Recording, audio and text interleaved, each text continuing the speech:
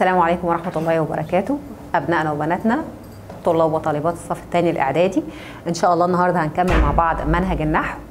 آه، الدرس اللي هناخده النهاردة بعنوان الحال. الحال من الدروس اللي أخدناها قبل كده يا شباب. أخدناه في سنة ستة ابتدائي وكنا عارفين إن الحال هو عبارة عن اسم نكرة يبين هيئة صاحبه وقت وقوع الفعل. وكنا دايما لما بنيجي نستخرجه بنستسهل وبنسأل كيف وبنشوف مين اللي جاوب علينا السؤال كيف. تمام؟ طيب صاحب الحال اللي إحنا بنسأله كيف دوت وبنعرف حاله ممكن يكون الفاعل أو المفعول به أو هما معا. السنة دي هنزود معلومة صغيرة على الحال فان إحنا هناخد أنواعه. زي ما اخدنا في الدرس اللي فات أنواع النعت المفرد والجملة وشبه الجملة كذلك هناخد الترم ده إن شاء الله أنواع الحال. فهنلاقي عندنا الحال المفردة والحال الجملة والحال شبه الجمله تعالوا نبص مع بعض على الأمثلة اولا الحاله المفردة زي ما اتفقنا يا شباب الحاله المفردة هي. إجابة لسؤال كيف وهي عبارة عن كلمة واحدة لا هي جملة ولا هي شبه جملة. بتبين هيئة صاحبها وقت وقوع الفعل وصاحبها ده زي ما قلنا ممكن يكون الفاعل وممكن يكون المفعول به. يعني مثلا لو بنظرنا مع بعض هنا على الجملة دي هنلاقي الجملة بتقول جاءت خديجة مبتسمة. لو أنا سألت كيف جاءت خديجة فالإجابة هتكون مبتسمة. مين اللي مبتسمة؟ خديجة، طب تعالوا كده نعرف مع بعض كلمة خديجة، هلاقي إن مين اللي جاءت؟ خديجة اللي جاءت فهتبقى خديجة فاعل مرفوع وعلامة رفعه الضمة، وعلى هذا نجد أن الحال هنا جاء كلمة مبتسمة، إجابة لسؤال كيف؟ صاحب الحال اللي بنتكلم عنه خديجة، مبتسمة دي بتبين هيئة خديجة وقت المجيء، إذا الحال هنا بيبين هيئة صاحبه وقت وقوع الفعل. الحاجة الثانية هنلاحظها مع بعض إن كلمة مبتسمة جاءت نكرة، كلمة مبتسمة جاءت نكرة. إذا الحالة المفردة دائما تأتي نكرة. طب صاحبها اللي هو خديجة إحنا متفقين إن أسامي الأشخاص معرفة وتسمى علم. اذا صاحب الحال عندي هنا جه معرفة. يبقى هنطلع كده بجزء صغير من القاعدة بتاعتنا من المثال ده. أول حاجة إن الحال اسم نكرة. تاني حاجة صاحب الحال يأتي معرفة. الحال دائما منصوبة. نشوف مثال كمان. شربت الماء باردا. كيف شربت الماء؟ هيجاوب عليه يقول لي شربت الماء باردا. اذا اللي زاد عليا في الإجابة كلمة باردا. طب باردا بتبين إيه؟ بتبين حالة الماء وقت الشرب اللي هو وقت وقوع الفعل. وعليه فقد بينت حالة المفعول به وقت وقوع الفعل. لأني لو جيت اعرف كلمة الماء أبص على الجملة الاقيها جملة فعلية أسأل نفسي من الذي شرب؟ أنا الذي شربت واللي بيدل علي هنا التاء. اذا فالفاعل هو التاء. والماء هو الذي تم شربه أي الذي وقع عليه فعل الفاعل فالماء مفعول به منصوب. وباردا هي الحالة التي بينت هيئة أو حالة الماء وقت وقوع الفعل اللي هو الشرب. نرجع نفتكر تاني. الحال اسم نكرة. الحال دائما منصوبة. صاحب الحال عندي قد يكون الفاعل وقد يكون المفعول به. وصاحب الحال دائما معرفة. كلمة خديجة جاءت معرفة لأنها علم. كلمة الماء جاءت معرفة لأنها اسم محلى بأل أو معرف بأل. المثال الثالث حي المدرس التلاميذ واقفين تمام كلمة واقفين بتدل على إيه قال لي دي بتبين هيئة المعلم والتلاميذ أو المدرس والتلاميذ وقت التحية وعليه فهي حال منصوب وعلامة حال منصوبة وعلامة نصبها الياء ليه؟ قال لي لأن هي جمع مذكر سالم تمام؟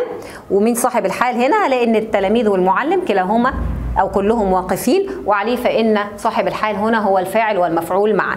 وقد يرى البعض أن كلمة واقفين تعود على التلاميذ فقط فيكون صاحب الحال هنا هو المفعول به.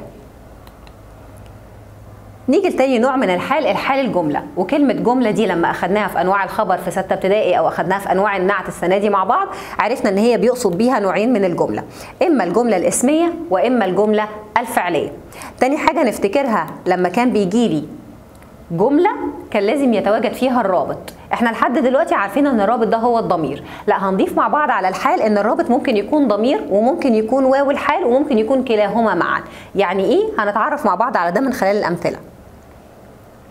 بص على الجملة الأولانية بيقول لي جاءت فاطمة ووجهها منير. اتفقنا إن أسهل حاجة أطلع بيها الحال أسأل كيف. طيب كيف جاءت فاطمة؟ هلاقي الإجابة ووجهها منير. اذا دي أكتر من كلمة. وعبارة عن إيه؟ عبارة عن اسمين يربط بينهما ضمير اللي هو هاء الغيبة. وفي واو جات لي في الأول دي بسميها واو الحال. ما دامت الجملة عبرت لي عن حالة فاطمة وقت المجيء فالواو دي تسمى واو الحال يا شباب. وعليه فإن الجملة الإسمية هنا في محل نصب حال لأن إحنا اتفقنا إن الحال دايما منصوبة. تمام؟ طيب في الجملة الثانية جاءت أسماء تبتسم. كيف جاءت أسماء؟ تمام هلاقي الإجابة تبتسم. تبتسم ده فعل. أين فاعله؟ ضمير مستتر تقديره هي يعود على الفاعل اللي هو أسماء اللي في الجملة اللي قبلها في, نفس الجملة عذرا. فهلاقي إن الجملة الفعلية هنا عبرت عن حالة أسماء وقت المجيء اذا الجملة الفعلية هنا في محل نصب حال. يبقى إحنا كده هنسترجع مع بعض المعلومات اللي قلناها. قلنا أول معلومة إن الحال دائما منصوبة. الحال قد تأتي مفردة وقد تأتي جملة. الحال إذا جاءت جملة فلا بد أن تشتمل على رابط. هذا الرابط قد يكون ضمير بارز مثل الهاء. وقد يكون ضمير مستتر مثل هي وقد يكون الواو والضمير معا مثل المثال الأول جاءت فاطمة ووجهها منير. نشوف مع بعض الحال الثالث شبه الجملة. خلينا نفتكر مع بعض إن إحنا اتفقنا إن شبه الجملة ده بيكون حاجة من اتنين إما إنه يكون جار ومجرور أو إنه يكون ظرف. تعالوا نبص مع بعض وإحنا اتفقنا إن إحنا هنستخدم أداة الاستفهام. كيف؟ عشان نتعرف على الحال. لما يقول لي رأيت القمر بين النجوم كيف رأيت القمر؟ تمام بين النجوم ولكن هنا باخد الظرف فقط كشبه جملة لأن النجوم مضاف إليه. طب في المثال الثاني ينصت التلاميذ في اهتمام. كيف ينصت التلاميذ؟ الإجابة في اهتمام. في اهتمام هي عبارة عن شبه جملة جار ومجرور. وزي ما اتفقنا الجمل وأشباه الجمل لا تعرب مباشرة يعني ما أقدرش أقول عليها حال لا أنا بعربها إعراب تفصيلي يعني لو ظرف بقول ظرف زمان أو مكان منصوب وبعدين أقول له وشبه الجملة في محل نصب الحال وفي الجملة الثانية بعرف حرف الجر في حرف جر مبني لا محل له من الإعراب واهتمام اسم مجرور بفي وعلامة جره الكسرة وبعدين أجمعهم مع بعض وأقول شبه الجملة في اهتمام في محل نصب الحال. تمام؟ نفتكر مع بعض الكلام ده. طيب نفس اللي قلناه يا شباب قلنا إن صاحب الحال دائما يأتي معرفة صاحب الحال فاعل أو مفعول به أو كلاهما معا. الرابط في جملة الحال قد يكون الواو أو قد يكون الضمير وقد يكون كلاهما معا. الحال دائما منصوبة فإذا كانت مفردة تعرب حال منصوبة بشكل مباشر وإذا كانت جملة أو شبه جملة يقال أنها في في محل نصب الحال. عندنا بعض الكلمات اللي لما نشوفها كده في أي قطعة بنعربها حال على طول. إيه الكلمات دي؟ اولا ألفاظ الترتيب اولا ثانيا ثالثا. بعد كده عندي كلمات مثل خاصة جميعا دائما معا قائلا سويا. وهذه الكلمات التي تظهر أمامك. تعالوا نشوف مع بعض التدريب ده ونحله سوا. لما يقول لي أعرب الجملة التالية ركبت ركبت الطائرة ركبت الطائرة وهي محلقة في الجو. ركبت الطائرة وهي محلقة في الجو. علشان نعرف إعراب سليم لازم نحدد الأول نوع الجملة اللي بتعامل معاها. تعال بص كده على الجملة في أولها هتلاقيها بدأت بالفعل ركبة إذا فهي جملة فعلية. تعال نبص. ركبت. ركبة نحاول نوقف الفيديو شباب ونكتبها كده في ورقة ونحلها وبعد كده نطابق الحل اللي إحنا كتبناه باللي إحنا هنشوفه دلوقتي مع بعض. قال لي هنا إن الفعل ركب فعل ماضي مبني على السكون. لأن لو نطقته وأنا مركز مع الحرف الأخير في أصل الفعل اللي هو الباء هلاقيه ساكن. ركبت فهو فعل ماض مبني على السكون لاتصاله بتاء الفاعل واتفقنا قبل كده إن تاء الفاعل دي ضمير بارز متصل مبني في محل رفع الفاعل. يبقى كده أنا جبت الفعل والفاعل. الطائرة هي التي وقع عليها الفعل إذا فهي مفعول به منصوب وعلامة نصبه الفتحة. الواو واو الحال. وهي حرف مبني لا محل له من الإعراب وهي ضمير بارز منفصل مبني في محل رفع مبتدأ ومحلقة خبر المبتدأ مرفوع وعلامة رفعه الضمة. وبعدين هبص ألاقي الجملة هي محلقة بتجاوبني على سؤال كيف ركبت الطائرة؟ كيف كانت حالة الطائرة؟ تمام؟ وهي محلقة جملة اسمية في محل نصب حال. في الجو جر ومجرور ده اختصارا إنما لما نيجي نعربه بالتفصيل هنقول فيه حرف جر مبني و الجو اسم مجرور بفيه وعلامة جره الكسرة.